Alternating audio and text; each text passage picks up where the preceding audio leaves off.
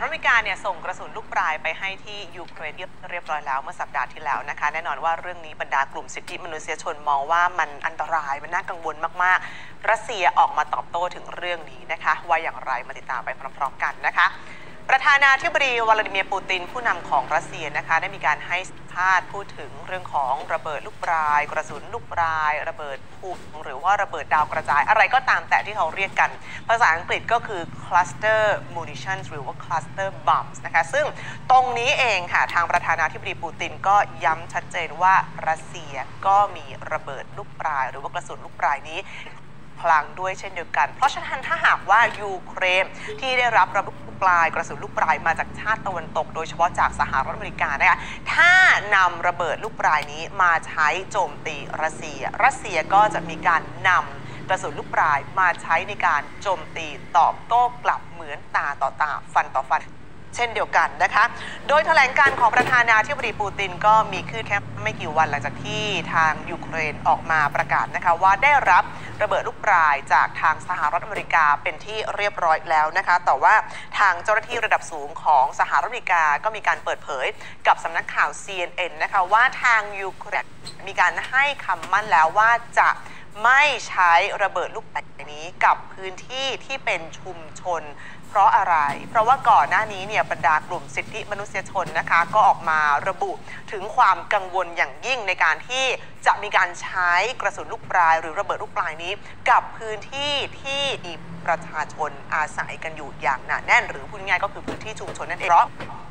อย่าลืมว่าระเบิดลูกปลายที่ว่านี้ถ้ามันไปถึงเป้าหมายของการโจมตีเมื่อไหร่ไอ้เปลือกนอกมันแตกออกแล้วระเบิดเล็ก ๆ กระสุนเล็ก ๆ ที่มันบรรจุอยู่ภายใน มันจะกระจายออกเป็นวงกว้าง ซึ่งกระทบอย่างหนักต่อประชาชนที่อาศัยอยู่ใกล้พื้นที่ที่เป็นเป้าหมายในการโจมตีนะคะ และถ้าหากว่าระเบิดมันงาอ่ ในช่วงเวลานั้นมันมีโอกาสที่หลายปีหลังจากนั้นระเบิดมันอาจจะกลับมาทำงาน แล้วก็ส่งผลกระทบต่อประชาชน ที่ยังคงอาศัยอยู่ในพื้นที่ดังกล่าวก็เป็นได้นะคะ อย่างไรก็ตามก่อนหน้านี้เนี่ยประธานาธิบดีโจไบเดนผู้นำของสหรัฐนะก็มีการให้สัมภาษณ์กับทางสำนักข่าว CNN นะคะว่าไอ้การรัฐจะตัดสินใจในการส่งกระสุนลูกปลายให้กับทางยูเครน มันเป็นการตัดสินใจที่ ยากมากเหลือเกินนะคะแต่ว่าท้ายที่สุดก็ตัดสินใจที่จะส่งกระสุนดังกล่าวเนี่ยไปให้กับยูเครนเพราะว่ามองเห็นว่ามันจะเป็น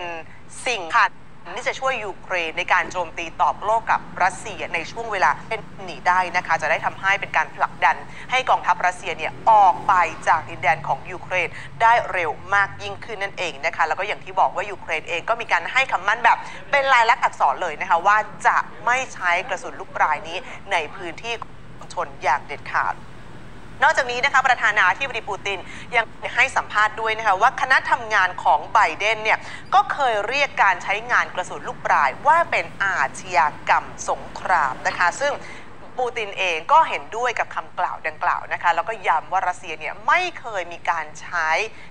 ปลายในสงครามในวิกฤตของยูเครนที่ดำเนินต่อเนื่องมากว่า 500 วันนี้มาก่อน แม้ว่าทางสหประชาชาติ จะเคยออกมาเปิดเผยเมื่อช่วงเดือนมีนาคมที่ผ่านมานะคะว่าทางฝากฝั่งของรัสเซียเนี่ยมันมีหลักฐานที่บ่งชี้ว่ารัสเซียเองก็เคยมีการใช้